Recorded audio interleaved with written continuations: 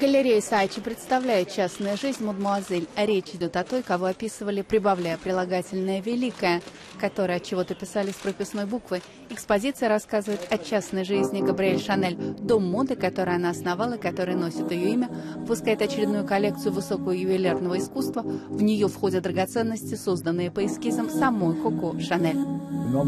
Я, в принципе, не отвечаю за ювелирные изделия, которые создает наш дом моды, но меня попросили все-таки как-то поучаствовать. Поэтому я придумал несколько платьев для каждой из девушек. По идее, платье как оправа в данном случае, чтобы лучше были бы видны драгоценности, тщательность работы и красота камней. Главным образом использовались бриллианты. Сам сюжет иронии истории, выросшая в бедности, Габриэль Шанель создавала бижутерию, украшения самых десовых и доступных материалов, которые призывала носить с тем же опломбом, с которым носят обычно фамильные драгоценности.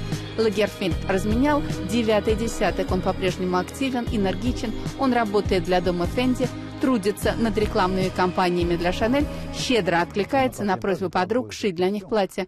Есть сила, нет сил, я не задаю себе такой вопрос. Меня еще рано списывать со счетов. Я вообще по этому поводу не беспокоюсь. У меня контракт пожизненного найма, и потом у меня хорошие гены. В моей семье были долгожители, так что и тут мне тоже очень крупно повезло.